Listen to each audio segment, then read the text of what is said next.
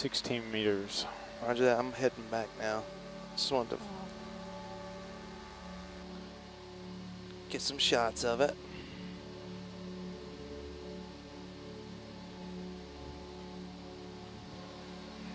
Wow, I'm surprised it's in this good a shape. Is this a suboxic layer? Yes, it is.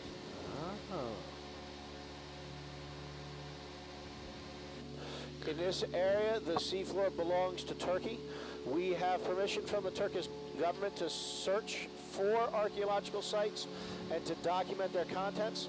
However, this season we are not going to be recovering any archaeological artifacts.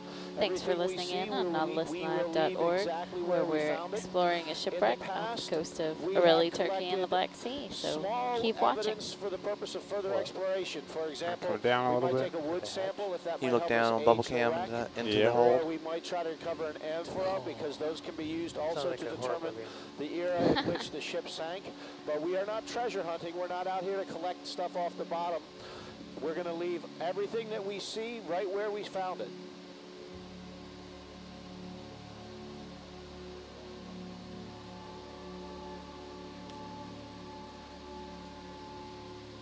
So now we're on the lower deck of the bow.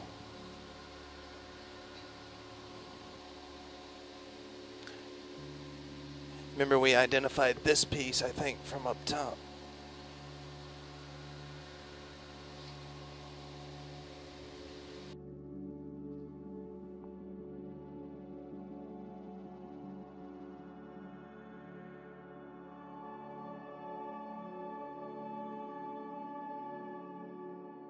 Let's see if we can't get bubble cam down the hold.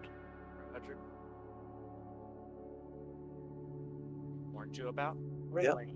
That's You're around. Not on sonar right now because you're too close. That's around. I wonder if if a trawler pulled that off. the fishing net's tangled around it Where? Down at the bottom? down the bottom. I wonder if a trawler pulled the railing off. Maybe. This may be. What is that? Is that the crow's nest? Maybe. I'm in to set it. Those I anemones. think a move on a heading of 120 for 5 meters would be good. Oh, look above you! Look above you!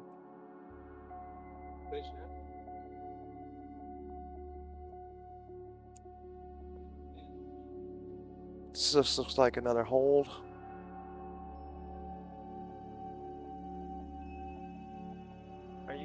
Running down over the center of the wreck? No, I'm just going in a little bit and then I'm going to come back out. Okay, if you come back to this Yeah. port side, We're going to be coming just right back the way I came out. Next move.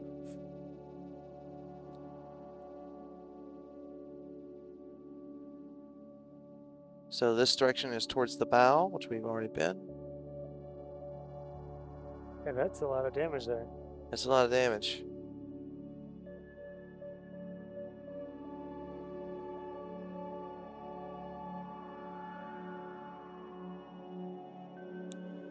Alright, I'm gonna go in, check it out. I mean, is this... This is sediment, I guess, I'm seeing inside of here. This, this is the quote-unquote stern part that we looked at last time. See, now these targets that you just took, that's inside the ship. wonder if this is part of the decking, maybe. They just got flipped topsy-turvy. Could have been, yeah. End over end, Like I guess. something that was like, it, it- So- there's an explosion somewhere. Yeah, I mean, so this looks like railing, and it's not more than a couple of meters off the uh, seafloor, if that. This guy broke apart pretty good.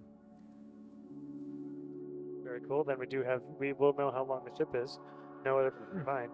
Right? Helpful. To the rudder.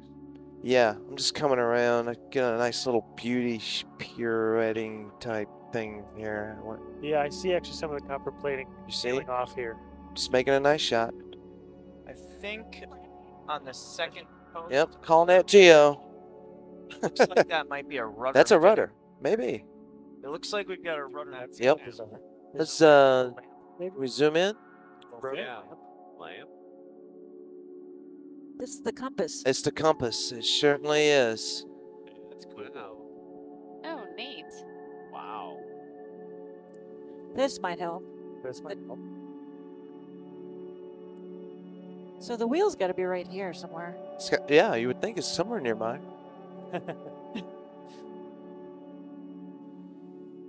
That's really cool.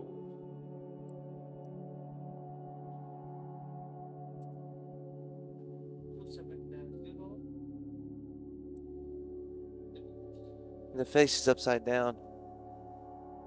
Oh well. We don't know the direction they were last sailing in. Straight to the bottom. I know. It's kind of like an ornate rail too, isn't it? A banister. It's nice. Trail. Uh, we have a uh, fan who wrote in copper plating was first used on British Navy ships in May, nine, May 1779.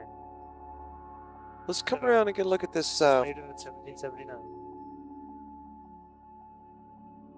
Okay, thank you. And Navy's wrong.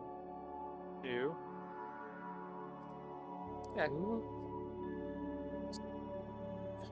What's uh what's that depth? 93.3 meters to here. And we're over top of it now, just barely. So 92 meters, you'd clear it. 92.